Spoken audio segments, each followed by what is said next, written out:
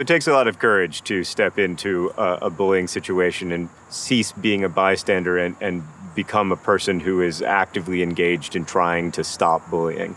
Um, that's a difficult thing to do. And, uh, you know, I certainly failed to do it many times when I was a kid. Um, but, you know, that's a, that tremendously courageous thing is something that, you know, if you can do it, uh, you're going to feel good, not just today, but really for decades. I mean, there's a lot of times that I can look back on and think about uh, how I wish I'd acted a little more courageously as a, as a kid when I was witnessing bullying.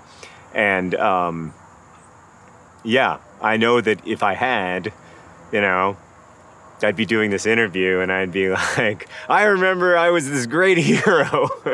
but you, I mean, you know, you had that opportunity. You had the opportunity to really help someone's life.